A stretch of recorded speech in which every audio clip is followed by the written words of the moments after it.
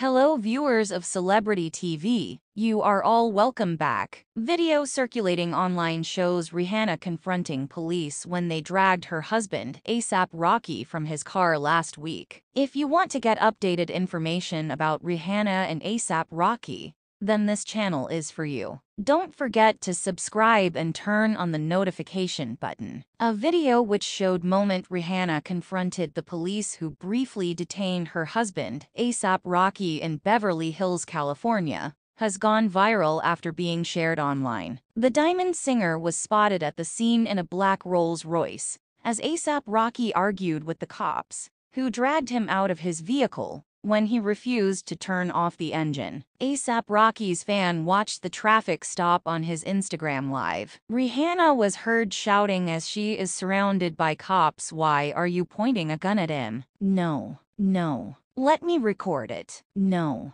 no, no, no. This is crazy. This is crazy. He's not armed. My husband is not armed. What do you think could be the cause of ASAP Rocky interrogation? If you enjoyed this video, please don't forget to subscribe and turn on the notification button. Thank you for watching and happy weekend.